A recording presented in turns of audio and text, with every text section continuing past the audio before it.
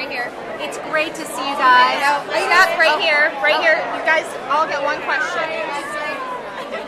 Charles from Us Weekly, and we're doing a Mother's Day segment.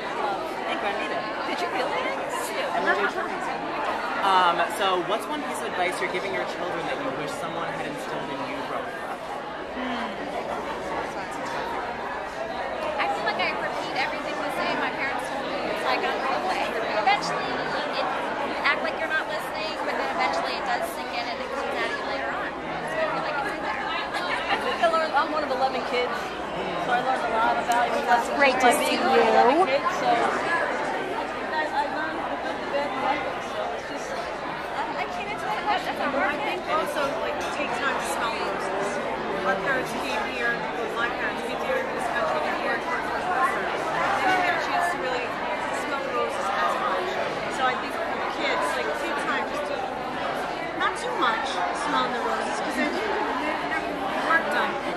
Ladies, ladies, who's going to be? Oh, we're going to go one at a Question, sir. With all the drama and everything, what keeps you guys coming back for other seasons? I don't think any of us have any huge regrets yet. I don't think any of us have any huge regrets yet. Am I right? I mean, if it ever starts to really affect my husband and my children and my life at home, I'll be out. But for now, we're happy. We're controlling it. I don't think any of us have changed. You know, uh, obviously it can get to you, but I don't. I think we've all managed to stay grounded and stay real and who we are. And you know, as long as you keep your two feet on the ground and stand up for what you believe in, you're good. it's been an amazing ride. As long as you know and the people around you know who you are, everybody around you knows the truth and all that stuff out there, you know, those lies. Like as long as your important people around your circle know everything, then everything's fine. Like you don't really think about the other stuff. Are you still talking to Teresa right now? Uh, um, let's look that way. Ladies, Paris Hampton. Wait, wait, hold on. Wait, hold on. Let me grab go next. Paris Hampton, In Touch Weekly. Wonderful to see you. Who is going to be sampling Teresa's new wine, Fabellini? I feel like I did. I can't remember. I think I got it before it came out. I think so. And what did you think? What did you think of it? It's good. You actually think it's good? I, I literally remember. It was like we, we did. I just had like a. And and I, I'm still waiting for my case to be shipped to my house. You're, wanna- you're still waiting. For, what do you I how, want to taste the finished product. What do you think of Teresa? I know you guys have. There's a lot of bad blood with Teresa. No, or how? What's going on right now? I mean, she, You know what? I'd love to talk about it, but we don't have enough time, and you're gonna have to watch her on the show. You have to tune in April 22nd. How do you guys, how do you guys think she's doing on Celebrity Apprentice? I'll bring them down. One Uh, question. what are you guys all watching and why? Because I'm TV Guide. We like to know that sort of thing. Oh God, uh, Nick Jr. I'm an intervention girl. I live and breathe intervention. I Okay. love it. It's my favorite show on TV right now.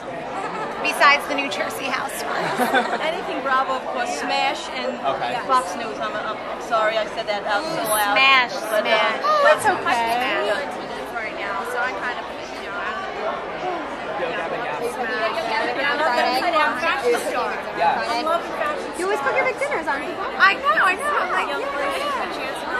No, seriously though, with, with Teresa, do you feel like you've turned a corner? Or is it still just really icy and weird? It, it's it's a very complicated situation. You're gonna have to see it play out. We could never answer the question directly without Yeah, being fair to everybody, Right. including to Teresa. so many layers there's just too many layers. and You're gonna have to see it play I out. understand. How do Thank you you. guys feel that she's doing on Celebrity Apprentice? I think she's doing some kind of strategy. She's being quiet and she's getting through. So I think that's her strategy. I mean, I don't know, but that's what it looks like.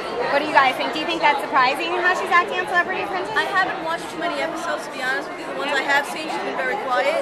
Um, obviously something's going right, but she's still not. So, It makes it very hard. I, I know where, where, how far she makes it, but I can't say. Do you, uh, but are you are you guys surprised at how she is acting on the show? I haven't seen it. Oh, you haven't seen it. So you two haven't watched it, and you have.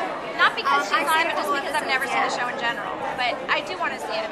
Do you always You just wait? When is that table flip going to powers, what would happen? Is, do you sometimes think to yourself, like, when is the table flip going to happen? Fly. Everyone is saying it. I. Mean, carpool You, you don't see her as an explosive or mercurial person. I think.